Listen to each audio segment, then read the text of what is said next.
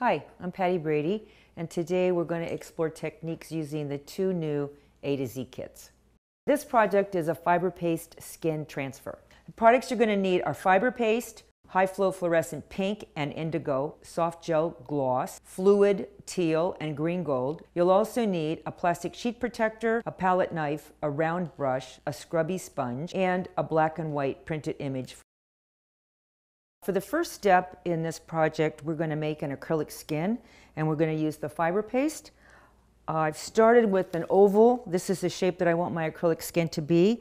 And I'm going to make the skin on a sheet protector, which makes it very easy to take off when the uh, fiber paste is dry.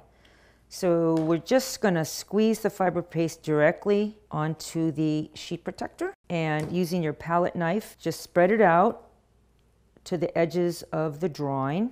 You don't want to leave holes in the middle of the skin and you want a little bit of thickness. Fiber paste dries to a paper-like surface, a little bit like a very rough watercolor. If the surface seems too rough for you, you can also just add a little bit of water on your palette knife. See how nice that smooths out? And there we are. And now we just have to let it dry. Now that the skin is dry, you just carefully peel it off the sheet protector.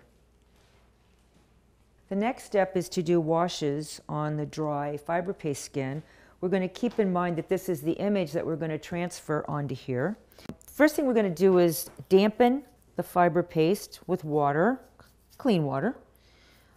We want this to be a water media or a watercolor wash-like application so we're first going to use the two high flow colors, fluorescent pink, beautiful bright pink, and the indigo blue. And you can see these are very ink-like in viscosity, wonderful for using in a watercolor-like application. Now we're going to switch and use the fluid color.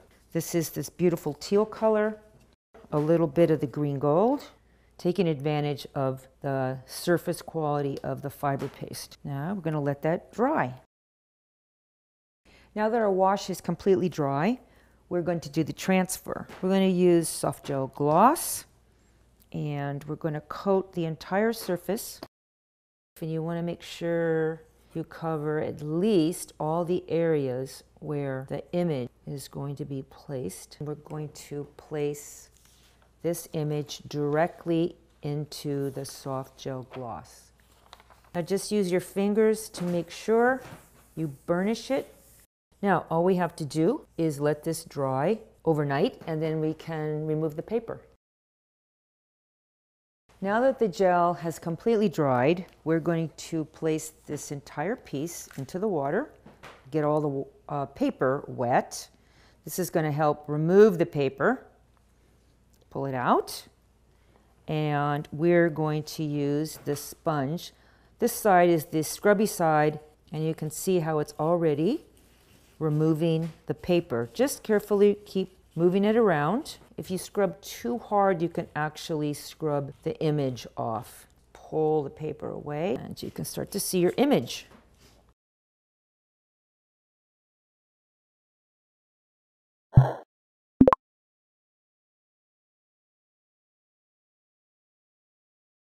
Hope you enjoyed that project and thanks for watching.